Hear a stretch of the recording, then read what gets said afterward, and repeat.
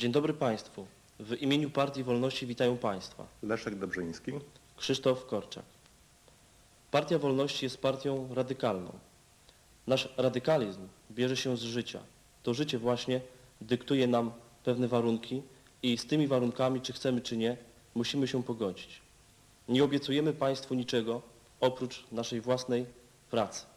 To państwo chcemy reformować w sposób kompleksowy. Chcemy się ustrzec pobożnych życzeń. Uważamy, iż trzeba w tym państwie przede wszystkim naprawić prawo. To ono właśnie tworzy rzeczywistość. To ono podporządkowuje sobie ludzi i wymusza na ludziach takie czy inne zachowanie. Otóż, jeżeli w tym państwie nie uporządkujemy fundamentów prawnych, to trudno mówić o jakiejkolwiek reformie dalszej. Nasz radykalizm związany jest również z pojęciem państwa prawa.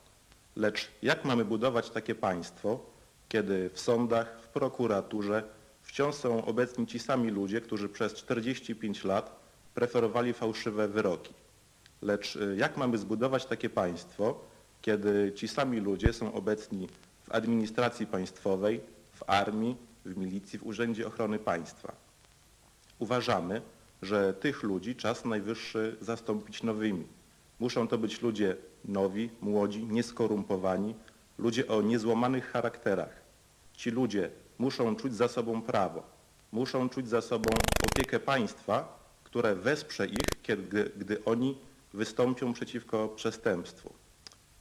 Lecz e, powtórzę tu się znowu, jak mamy budować takie państwo, gdy obecnie tak, tak zwane najwyższe autorytety e, stawiają zły przykład moralny. Mm, Ujawniane są różne afery. Jest to po prostu bardzo, bardzo nieprzykładne. Uważamy, że należy zerwać z ciągłością PRL-owskiego państwa.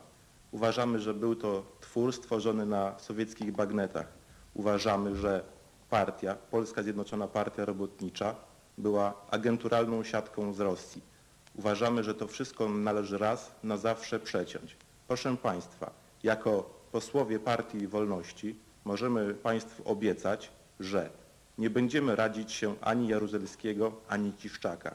Możemy też Państwu obiecać i zrealizujemy to, że w przyszłym parlamencie wystąpimy o usunięcie z niego